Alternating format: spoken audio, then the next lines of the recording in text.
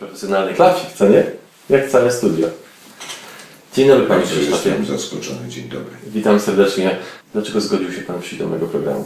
Dlatego, że dowiedziałem się, że to nie jest hańba. O Jezu, naprawdę, bardzo miło. To dla mnie naprawdę olbrzymi zaszczyt, że Pan tutaj jest. Dlaczego media to czwarta władza? Mm, No dlatego, że media stwarzają pozory, że są najlepiej poinformowane i tyle się dzieje w kraju, rozwój technologii, a teraz jest modny temat śledzenia e, przez służby polityków, podsłuchiwania telefonów. Mm, e, Media niby kontrolują sytuację i media są w stanie z rzeczy bardzo błahej zrobić coś takiego, że wydaje nam się, że mimo, że wichura zniszczyła dwa domy, to wydaje nam się, że zniszczyła całą Polskę, prawda? W związku z tym z jednej strony jest to rozwój technologii, z drugiej strony jest to chęć zarobienia pieniędzy i mm, utrzymania stacji komercyjnych, y, tabloidów. W związku z tym są wymyślane tematy, y, które w rzeczywistości istnieją nie wiem, w 10%. To jak nie zgłupieć w tym natłoku czasem nieprawdziwych informacji? Trzeba mieć dużą odporność, po pierwsze, a po drugie, znaczy własną, a po drugie, e, nie trzeba wierzyć, że wszystko, co z mediów do nas płynie, to jest e, ta skala, o której media mówią. Albo e, zdarzają się takie wypadki, mieć do kogoś w mediach zaufanie. A czy sobie Pan ufa, czy też czasami się na sobie zawodzi? Oczywiście, że się zawodzę, bardzo często się zawodzę. No, mój zawód składa się z nieustannej niepewności. Bez względu na to, y, co się robi, czy co przygotowuję, to zawsze jest ten moment niepewności do y, chwili konfrontacji z odbiorcą, czyli z publicznością.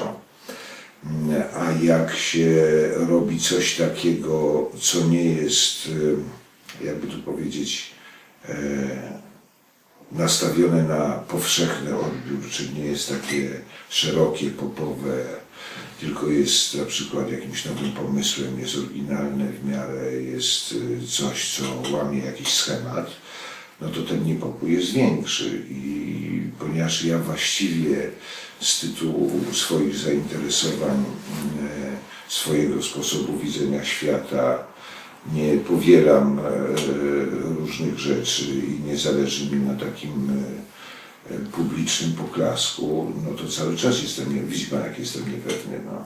A dlaczego Panu, właśnie, może inaczej, nie dlaczego Panu nie zależy na tym publicznym poklasku, ale dlaczego innym na tym publicznym poklasku zależy? Chyba to jest pytanie do innych. No, inni, inni, inni pewnie mają inną drogę dojścia do tego, co mają, czyli do swojej jakiejś tam popularności, obecności. Ta moja droga jest niesłychanie skomplikowana, kręta. I ja właśnie, właśnie teraz, w momencie, kiedy zebrałem się, żeby w jakiś sposób usystematyzować swoje wspomnienia, jak dochodziłem do różnych rzeczy, uświadomiłem sobie, że jestem jedną z osób, których droga wcale nie była prosta do tego, co mam i co robię, tylko decydowały o tym e, i przypadki, i mój upór, i chęć, że długo nie byłem, że tak powiem, na pierwszym planie, tylko trzymałem się i starałem się uczyć od osób, które napotykałem na swojej drodze.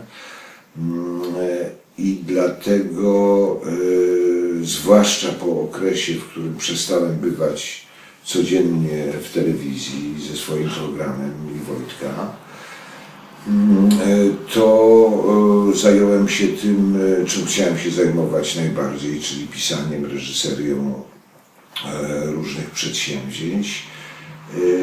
I wcale za tą telewizją w takim szerokim wymiarze nie tęsknię.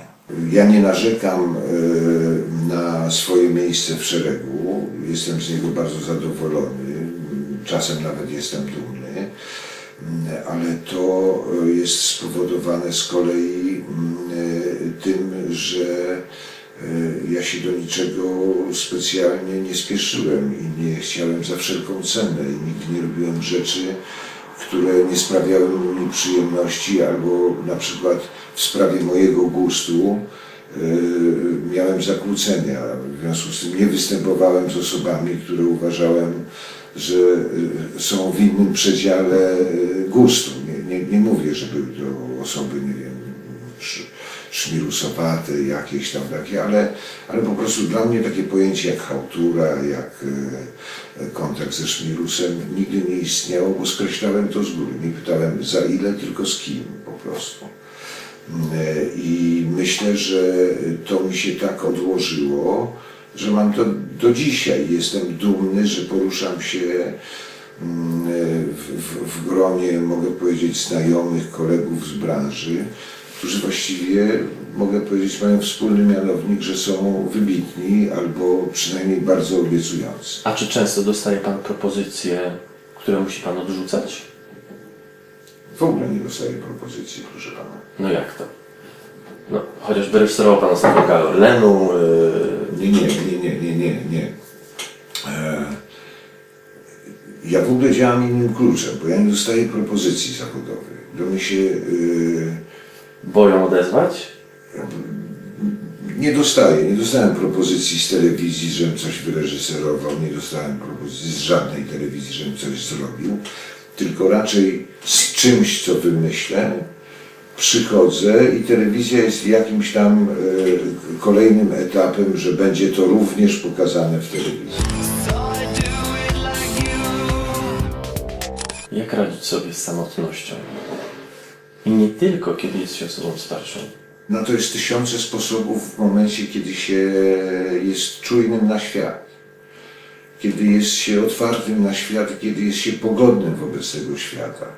Ja uważam, że człowiek pogodny, czyli człowiek, który ma poczucie humoru, człowiek, który dobrze życzy sąsiadowi, ma znacznie lepiej niż ten, który całego świata nienawidzi, dlatego że jego świat ukarał, bo on jest samotny. Niedaleko mnie mieszka taka sąsiadka, która nienawidzi wszystkich. Siedzi w oknie i nienawidzi wszystkich. I ona tak wszystkich nienawidzi, że ja nie jestem ani na nią zły, ani ona mnie nie jest w stanie obrazić.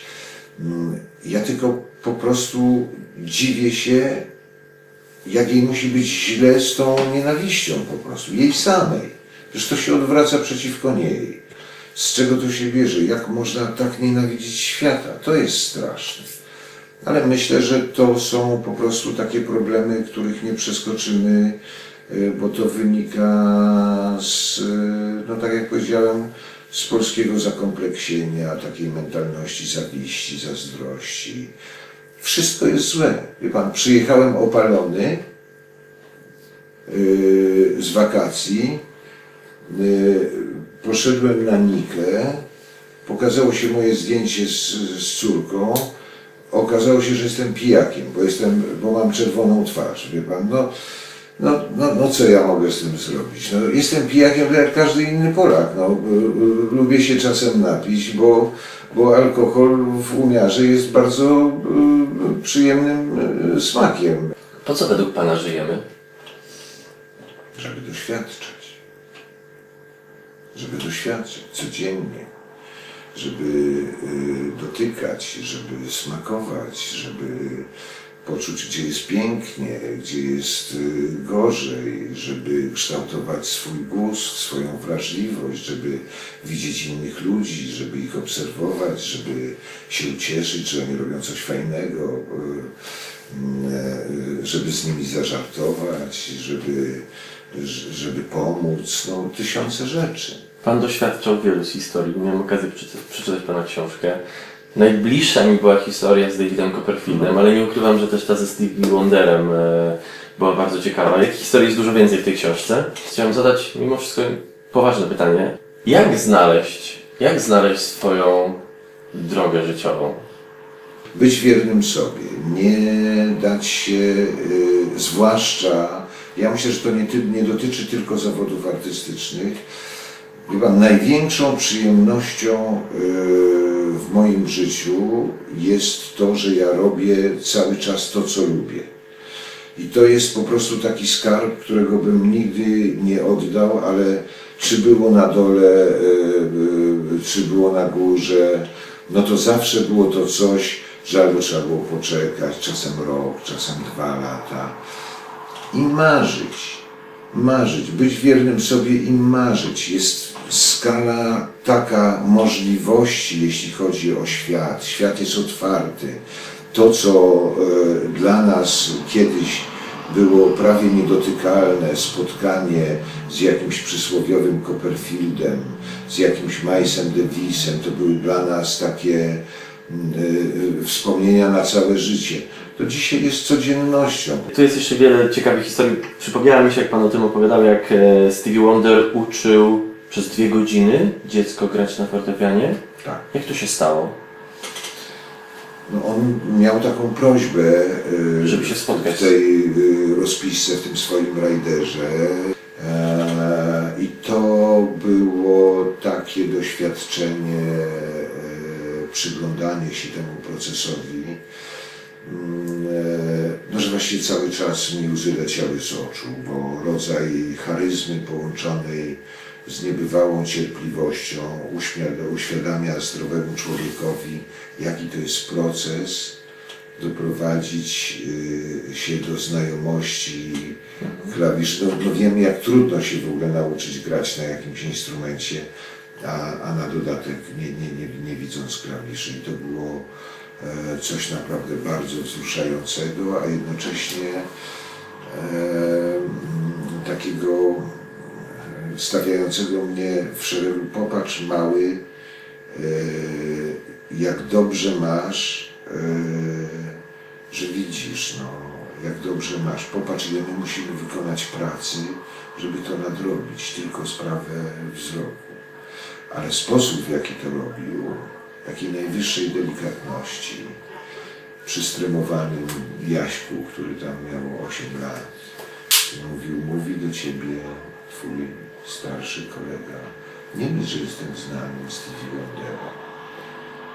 Jestem niewidomym muzykiem, ale kiedyś tak jak ty byłem małym Stevie, który nie widział, który klawisz jest biały, który jest czarny. Daj mi paluszek. Poczuj, ten jest krótszy, ten jest dłuższy.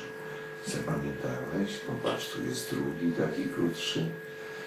E, Po prostu coś i to wymaga i robił to z dwójką dzieci i półtorej godziny był z jednym i półtorej godziny był z drugim. I to po prostu no, było coś niesłychanego. Panie Krzysztofie, bardzo dziękuję za tę rozmowę. Ja też dziękuję. Ja zapraszam do, y, bo to jest taka książka, y, w której ja się zdecydowałem właściwie, żeby powiedzieć skąd się wziąłem. I skąd się Pan wziął? Z przygód. Z przygód, a jest ich tu bardzo dużo. Jeszcze raz bardzo Panu dziękuję. Dziękuję bardzo. To jeszcze tylko poproszę o zrobienie. Chyba jakiś taki strasznie pseudomądry ten, ten, ten, ten, ten, Czy ja mogę zostawić to w odcinku? Tak, oczywiście. Ja bym chciał coś, jakoś coś, myślałem, że jakoś wejdzie przez okno. Czy w wannie będę siedział albo coś takiego. Jakoś, Do wanny?